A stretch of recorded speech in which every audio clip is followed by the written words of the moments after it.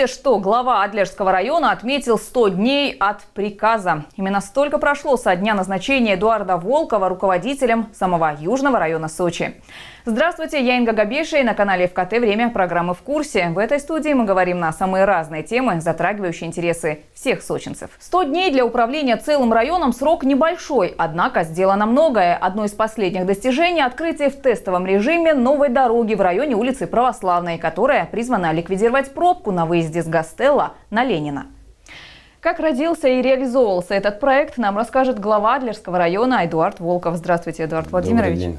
А, наверняка не просто было построить новую дорогу, но другого выхода из сложившейся ситуации, наверное, и не было. Затор из машин, выезжающих из сел Орел, Изумруд, Верина, Лазурная долина на центральную автотрассу э, стал уже хроническим. Да, с проблемой дорожных пробок на самом деле мы боролись давно, смотрели, изменяли схему движения. Однако э, все мы вместе, вместе с городом понимали, что эта проблему не решит и необходимо открывать альтернативную дорогу. Рассматривалось два варианта. Это первый вариант выезд на аэропорт города Сочи и второй вариант это с Петрозаводской на улицу Православную, далее на улицу Ленина. Благодаря главе города мы смогли открыть этот участок буквально недавно. Угу. И э, жители очень довольны тем, что разгрузится на данный момент сегодняшняя пробка, которая быть. Но это в окончательном решении не решает той проблемы, поэтому на следующий год мы однозначно будем рассматривать тот выезд, который я сказал на аэропорт. Поэтому будем заниматься этими проблемами. Но пока это как техническая перемычка такая получается. Это не техническая перемычка, это альтернативная дорога выезда с Орла Изумруд, что, конечно, значительно, очень значительно разгружает движение по улице Гастелла. Поэтому, думаю, это очень значимое мероприятие в этом году. Действительно, дело и значимое, и большое. А будет ли меняться схема движения там? На сегодняшний день знаки уже установлены и весь транспорт пойдет э, с улицы Петрозаводской, как я еще раз повторюсь, да, э, с этой, на эту перемычку и будет выходить на улицу Православную. Mm-hmm. Там, э, улица Православная отремонтирована полностью, сделана, поэтому народ будет спокойно выезжать на улицу Ленина и уходить либо на центр Сочи, либо возвращаться в Адлер. Очень удобно. А ремонт других дорог планируется? Да, ремонт дорог, конечно, планируется, и не только планируется, он делается. Огромная работа проведена по Кудепсинскому сельскому округу. Сделано от Вардане, Верина, асфальтно-бетонное покрытие там, до 10 лет октября. Также э, отремонтирована улица Мостовая, улица Кузнечная сделана. И в селе Верина улица Табачная и Чайная. Хочется сказать и отметить то, то что в Нижнешиловском сельском округе да, на протяжении 20 лет не делалась дорога. И благодаря Анатолию Николаевичу в этом году отремонтирована дорога. У нас вчера состоялся сход граждан, где граждане все вместе очень сильно благодарили власти города за то, что это сделано. Вот.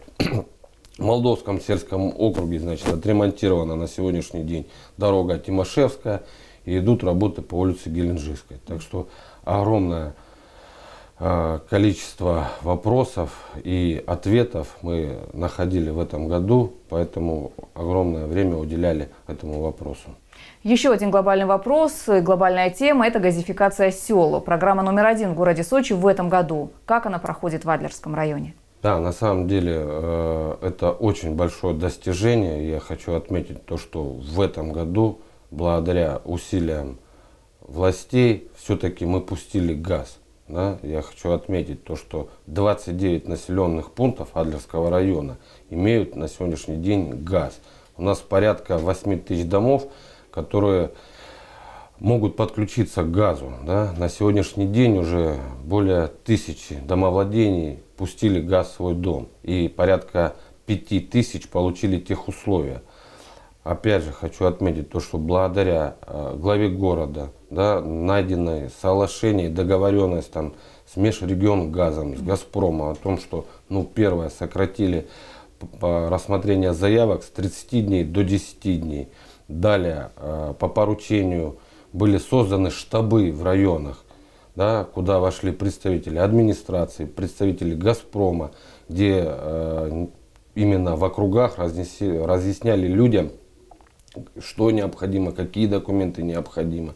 Поэтому эта работа очень пошла заметно, хорошо, и народ доволен о том, что наконец-таки свершилось то, что долго-долго-долго этого ждали. Ну, информационные штабы тоже работают? Информационные штабы работают, проведено более 25 сходов, проведен подомовой обход, то есть людям разъясняется, показывается, что, как делать. Угу.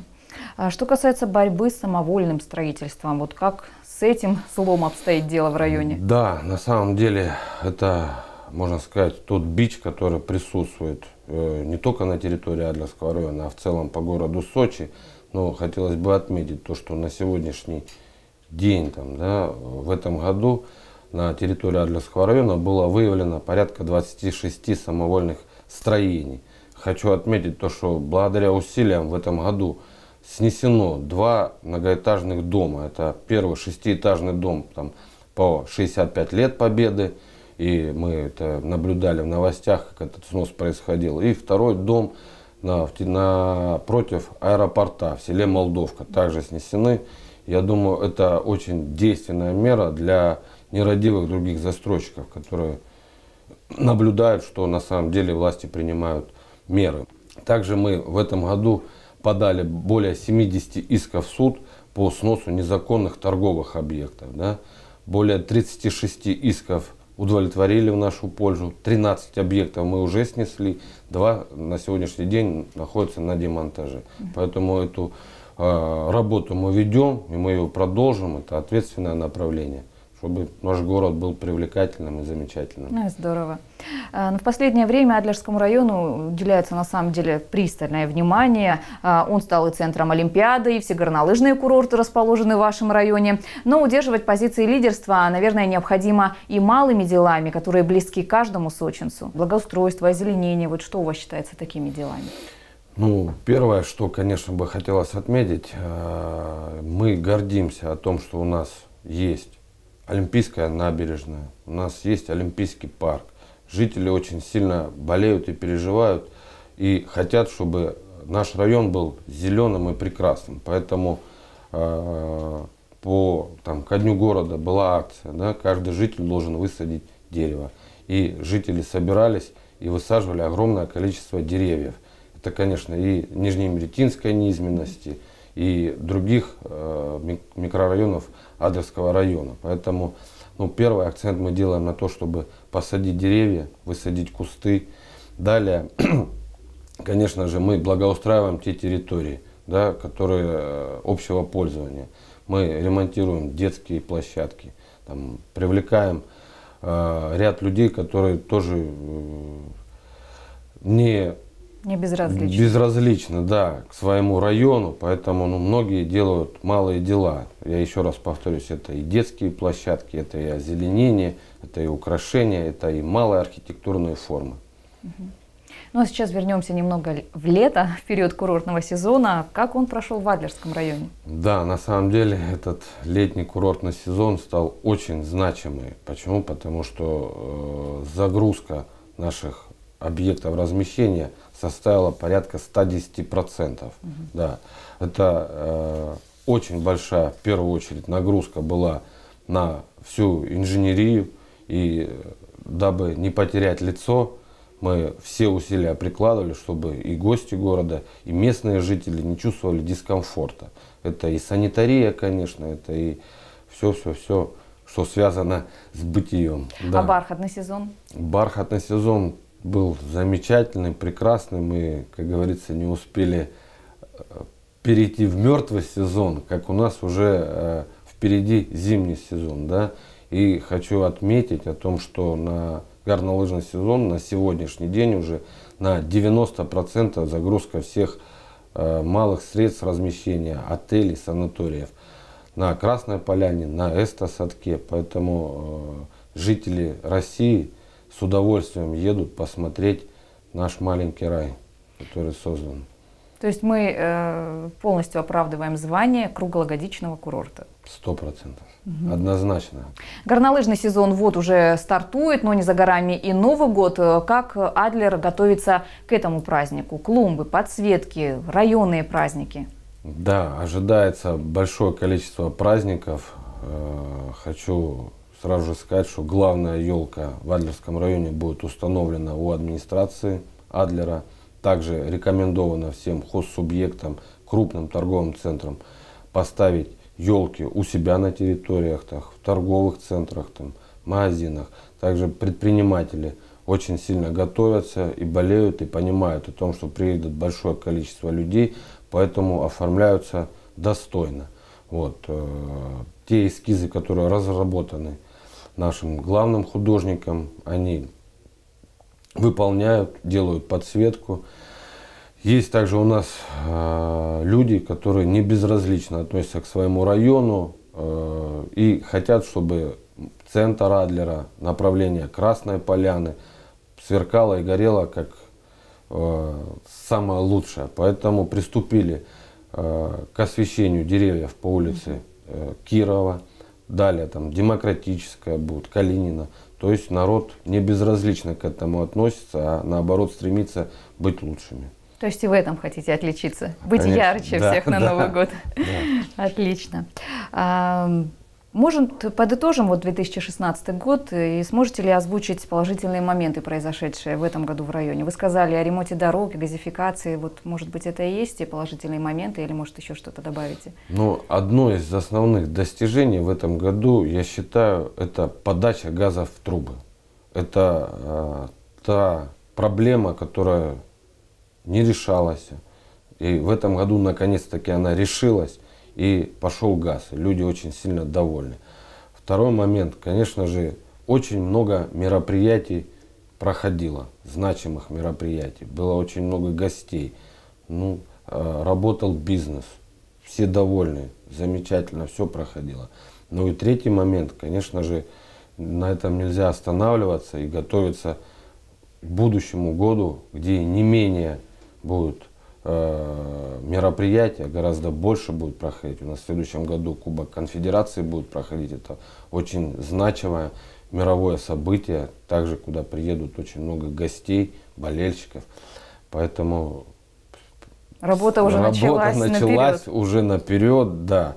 Плюс нам в следующем году и в этом году уже работа началась, продолжилась, точнее я скажу, да, по приведению объектов к единому архитектурному mm-hmm. облику так как мы готовились к Олимпиаде, были очень множество домов отремонтированы, сделаны крыши, сделаны фасады, а, сделаны заборы, да, но ряд домов уже там облезли, поэтому работа будет продолжаться, и мы должны показать всему миру, что мы лучше. Ну вот еще одни из положительных моментов, насколько мы знаем, у вас произошли ко Дню города.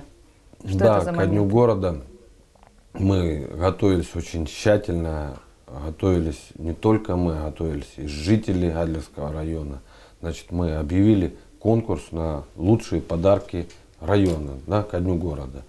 Вот. И одним из победителей представленного эскиза стала это, конечно, золотая рыбка. Многие сказали о том, что давайте откроем сквер желаний, где э, наши гости, наши жители смогут подойти и загадать желание. Да?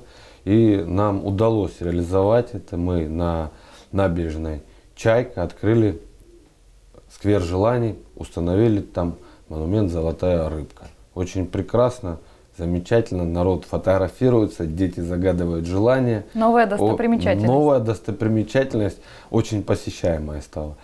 Также была организована и сделана да, э, книга истории. Это располагается в нашем знаменитом парке Бестужево, где в 1837 году высадился десант и погиб Бестужев, это писатель. Вот, э, установили книгу истории, сделали в цветочном оформлении. Также жителям Адлерского района очень это понравилось.